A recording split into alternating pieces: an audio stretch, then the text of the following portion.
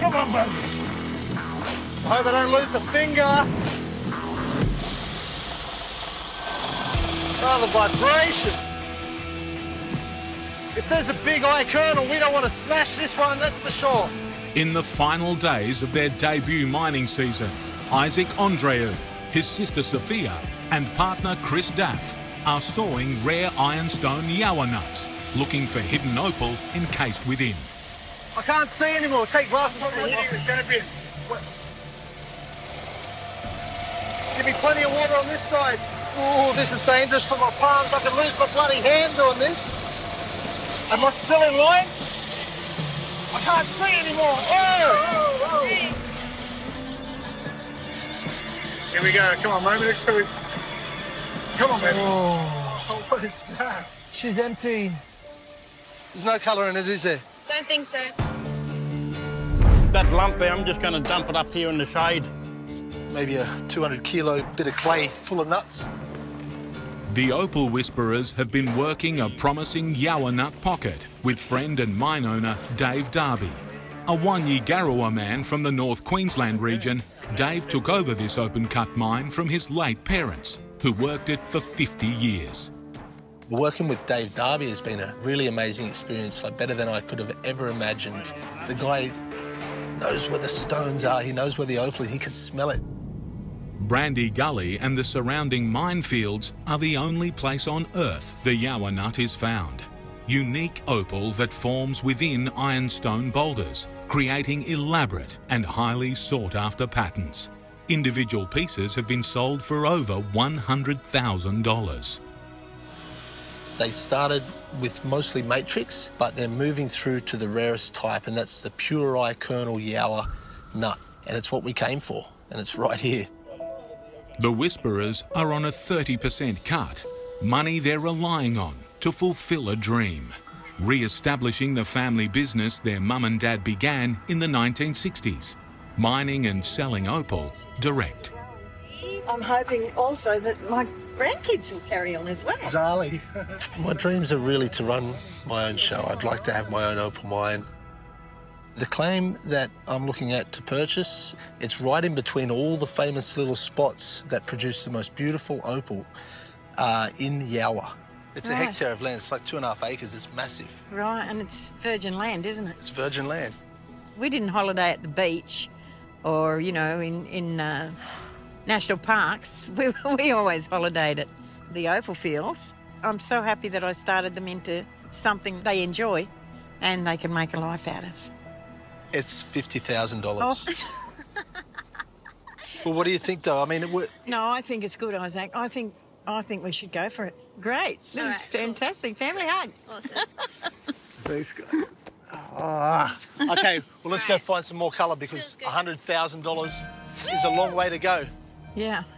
Our original target out here for this season was to pay for a few things within our life which is like all our regular bills and everything, but also my daughter's schooling. I want some money put aside for her as well. Chucking this land on top, that's an extra $50,000 on top of what we originally needed to make. With the heat starting to build, the storms coming across, it's all ramping up towards the end of the season here. We really don't have long. I'd say we've got probably a week, maybe days, uh, before we can't really bear to be down there anymore. It's hot, man. Even in the shade here, I'm cooking. A little bit of manual labour put on top of the heat and the flies. And, uh, yeah, it's pretty unbearable. The whole week we've been working towards this one spot where all the signs are pointing like a big arrow to where we hope is the mother lode pocket. A couple of nuts that were on the top broken, already showing great colour. Claim owner Dave has to use an excavator to dig out blocks of sandstone holding the nuts, but risks destroying the opal with the bucket's teeth. How's he going? Have we buried a few just here? Yeah, in there. Oh, there's colour everywhere. Really? I must have just scraped it and lucky to see uh, see the nuts first. There's colour here. There's another nut here with blue. Look at that. Jesus, man. There's colour everywhere. Everything's making now, even on the skin of the nut. Oh, God. There could be a million dollars under our feet. Could be anywhere here. There is literally colour everywhere. Uh, and actually, like, I'm sitting on a yowah nut. Look at this here. Oh, the phone. Hey, nice. Look at that. That's what I mean. Beautiful dark ironstone with thick matrix blue flash. Wow. It's outrageously bright. Nice. Guys, look what I'm sitting on. Look at that. Can you see it? Yeah. Holy. It's all through the wall, man. Every single piece. Look at that. That's literally just pulling it out of the wall. right there is about three foot of just colour band. It continues right the way along. So let's get this little baby out very carefully. We'll go from underneath it and then we'll just push it down. See that? Nice and careful. It's massive too. Is it? Whoa, dude, this is the best colour yet.